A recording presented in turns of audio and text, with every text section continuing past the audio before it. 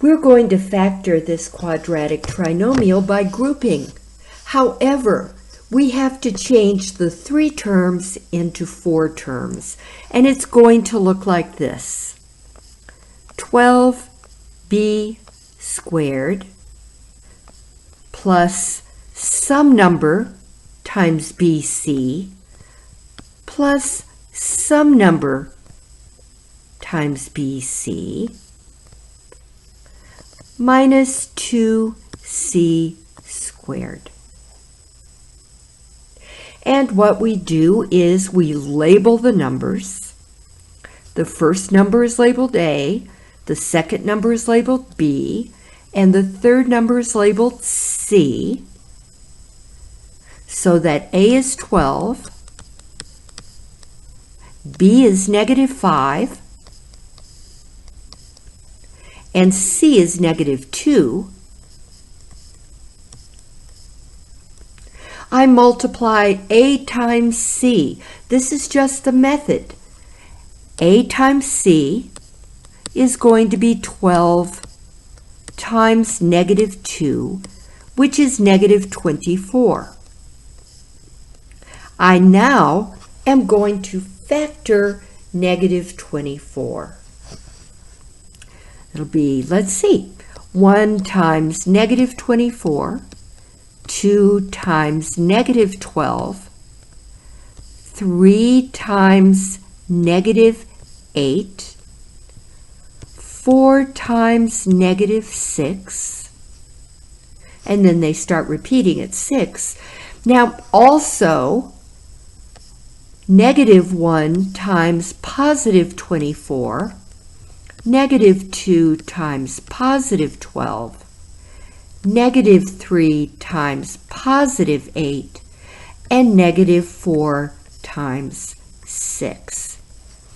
Now what I need to do is I need to find which one of these pairs adds up to the B number, negative 5. And that would be 3 and negative 8 because 3 plus negative 8 equals negative 5. So these are the numbers I'm going to use. So I'll have 12b squared minus 8bc plus 3bc minus 2c squared. Now I'm going to group like always. Now we've got four terms. So just like always, when we're grouping, we group the first two, two terms. We group the second two terms. And then we factor each set of terms by the greatest common factor. All right, let's do that.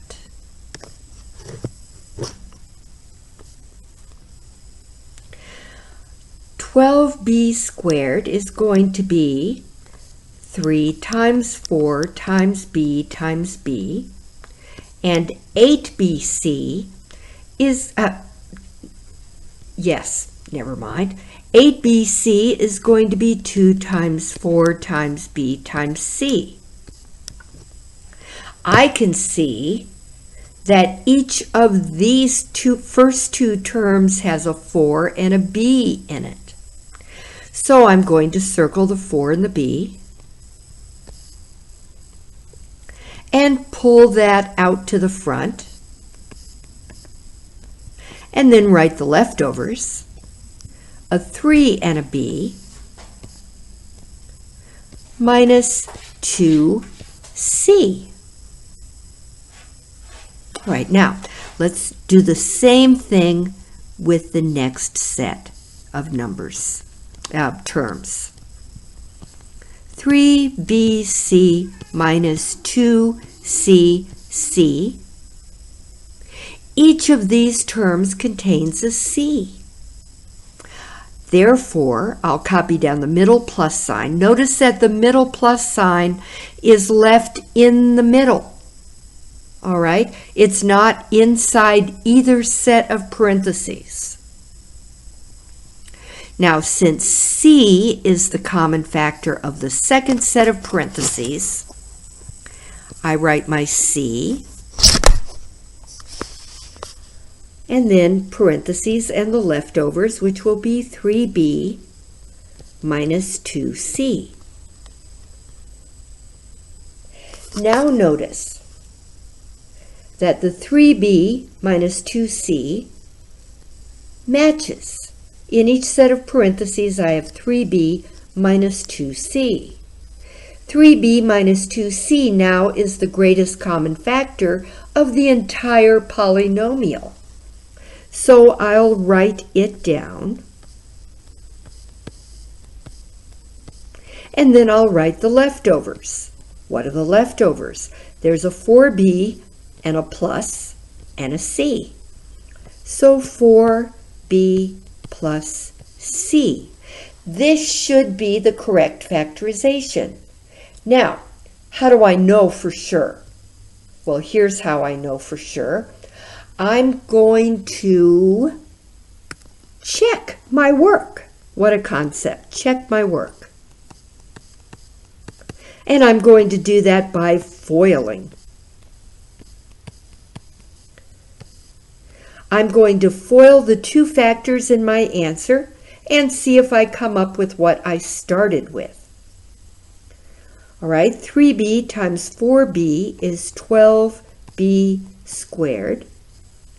Outside is going to be 3b times c, so that will be 3bc. Inside will be negative 2c times 4b which will be negative 8bc, and I forgot to write my plus over here. And then last is going to be negative 2c times c, which is minus 2c squared. Now, these terms both have a bc. The letter parts are exactly the same. So we can combine them 3bc minus 8bc is negative 5bc.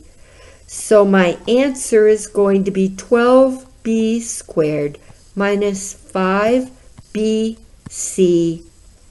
minus 2c squared, which is indeed exactly what I started with.